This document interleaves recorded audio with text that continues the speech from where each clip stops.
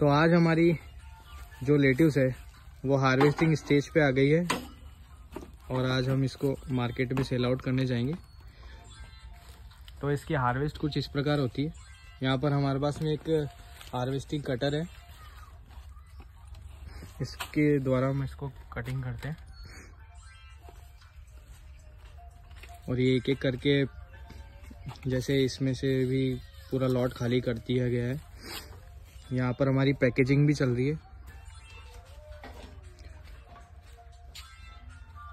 ये पूरा इस प्रकार से भरा हुआ था।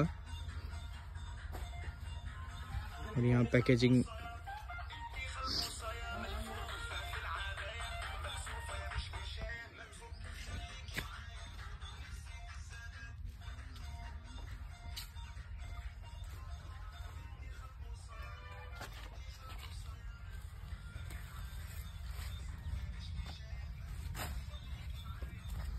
एक का ही वेट काफ़ी अच्छा बैठ रहा है।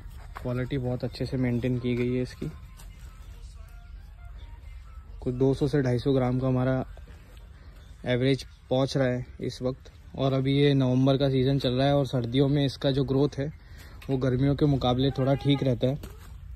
और इनका जो ग्रोइंग टेम्परेचर है, वो 35 डिग्री के नीचे रखना पड़ता है, तभी ये लेट्यूस ग्रो हो पाता है। गर्मियों के सीज़न में हमको इसी प्लांट को थोड़ा एडजस्टमेंट करके फ़ैन पैड सिस्टम लगाना पड़ेगा।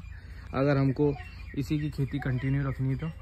और ये जो पौधा है, ये इसको लगाए हुए कुछ सात आठ दिन हो गए। सात आठ दिन में इसके इतनी ग्रोथ रहती है नर्सरी के बाद।